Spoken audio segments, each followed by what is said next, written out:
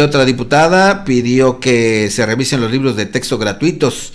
Lamentó que no le hubieran hecho eco sus compañeros diputados cuando pues hizo la propuesta de que se revisara este tema, eh, que se hiciera un exhorto desde el Congreso del Estado. No la ignoraron, no la pelaron, los libros de texto ya están en todas las aulas de, del Estado de Morelos y ella dice que esos libros son el reflejo de un adoctrinamiento afín al movimiento de regeneración nacional de un gobierno que no quiere un pueblo preparado, pero sí adoctrinado para poderlo manipular. Órale, ¿eh?